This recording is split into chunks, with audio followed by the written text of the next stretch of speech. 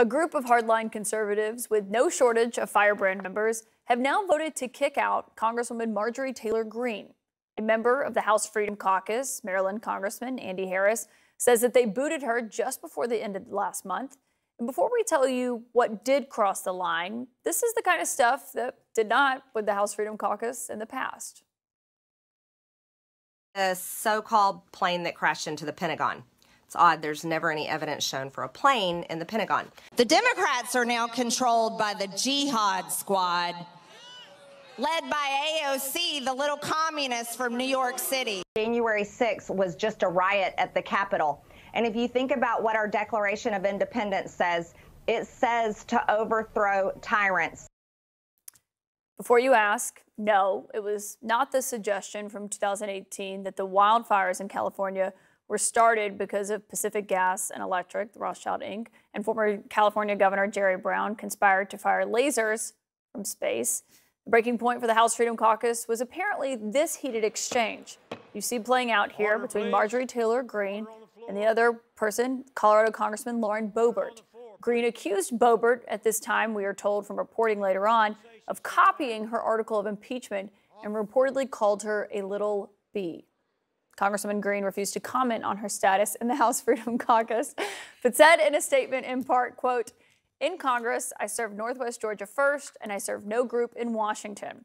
Joining me now to discuss and laughing as I was reading that is Scott Jennings, former special assistant to President George W. Bush and Bakari Sellers, former Democratic state rep from South Carolina, and the host of the Bakari Sellers. you, you're giving me the giggles. okay, well then I'll go to Scott. Son of, son of a bee, you can't be doing that. this is hilarious. Oh, My parents watch. I can't do that. Anyways, Scott, what happened um, to the 11th commandment from Ronald mm. Reagan thou shalt not speak ill uh, of any Republican. Now we've got the House Freedom Caucus kicking out Marjorie Taylor Greene. Yeah, I wonder if this is really the thing or if the fact that she's actually been a pretty good ally of Kevin McCarthy. I mean, she stood with Kevin McCarthy, she helped him become the Speaker, she voted with him on the debt deal. Um, he's used her, you know, a lot here. Uh, he's got a narrow majority, and they're using this as the trigger point. Uh, but I actually wonder if it's just they don't like the fact that she's, you know, uh, become card carrying member of the establishment I mean, in the it, House right now. it know? definitely shows how fractured House Republicans are. Oh, they're a mess. I mean, look, you know, um, there's an old saying my, my, father would say that if uh, you never argue with a fool because people watching can't tell the difference. And when you look at that, I mean, you just can't tell the difference of what's happening. And when you when you just sit back and you understand the dialogue that was happening between the two, uh, it just shows that the they the decorum between Congresswoman Boebert and Congresswoman Marjorie Taylor Greene is below that and below the dignity of the United States Congress. When I was growing up, I'm sure when Scott was growing up, he's older than I am substantially. But regardless, when, when we were growing up, I think we, we held the United States Congress to a higher uh, esteem. The, the individuals who served us, we believed them to be uh, carrying themselves with a decorum and a dignity.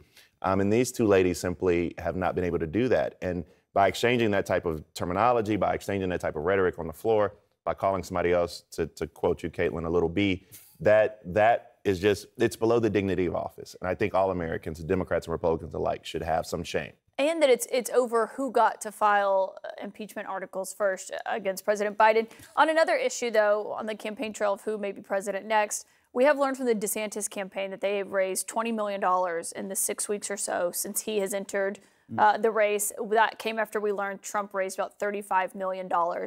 That's a lot of money for DeSantis, $20 million in those six weeks. But he has had a series of missteps on the campaign trail. Is that enough to make up for it? Well, and you add it to what he brought into the race from Florida. He's got plenty of money to communicate. I mean, you know, the, the higher you climb in these campaigns, the less money matters. Do you have enough to communicate? Do you have enough to operate? Obviously, he does. Obviously, Trump does. I, I worry about the rest of the campaigns having enough money to and oxygen to, to last. But he's got plenty of money to get his message out there. The question for him is not money, it's is there an audience for this? And right now, Donald Trump's so dominant in the primary that it, it, no amount of money may be enough. And, and obviously, he's fighting hard and he's bringing up some issues right now. But uh, Trump's been hard to dislodge so far. And the money has not deterred the other non Trump candidates. That's his first mission, mm-hmm. is to mm-hmm. get rid of everybody else. Well, Ron DeSantis has one singular problem it's the more that people meet him, the less they like him. Um, I, I compare him. Florida excluded? Florida excluded probably, and I, I, think many people in Florida once they actually he didn't have to run a campaign. I mean, you and I could have beaten Charlie Crist. That's a whole nother story. But but Ron DeSantis is not a very likable politician. He does not do well in retail politics. People like his policy, I think. Um, certain people like his policy. They just don't like the person. Um, and I, I, believe we're, we're seeing him turn into Scott Walker. We're seeing him turn into Tim Pawlenty. I don't know if viewers remember those names, but at one point in time, they were the next big it thing. Everybody thought they were the front runner to be the GOP nominee, but they they turned into Icarus. They flew too close to the sun. So DeSantis was actually just on Fox before we came on air, and he was asked about why he's not resonating with voters. It was really fascinating. This is what he said. I've also been attacked more than anybody, as you know, Will. You know, Donald Trump has spent over 20 million attacking me. That's more than he spent supporting Republican candidates in last year's midterm election. Now, you can't win with just Republican voters. I think we showed in Florida, you know, if you want a big victory, you got to win independent voters. You got to win people who haven't voted for our, our, party in the last several cycles. I've show, shown I can do that, and I think we can do it nationally. Is he doing stuff to do that, though, to appeal to independent voters and people who haven't voted for Republicans? Well, look, he's got to win a Republican primary first, but his electoral success in Florida came on the backs of a lot of independents and a lot of Democrats. Uh, and he flipped some big areas in Florida that traditionally vote Democrats. So he has a history of doing that. But you can't get to that part of the game unless you win the Republican primary. And the issues that resonate in the Republican primary right now, he is hitting on.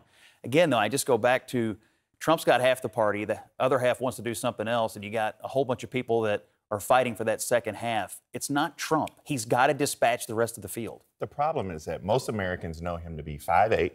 Most Americans know him to be the governor of Florida who's not Donald Trump, who fought against Mickey Mouse and lost.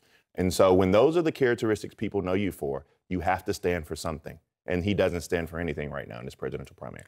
Bakari Sellers, Scott Jennings, thanks for keeping this panel so pure tonight. oh, we're going to church on Sunday. Caitlin. exactly.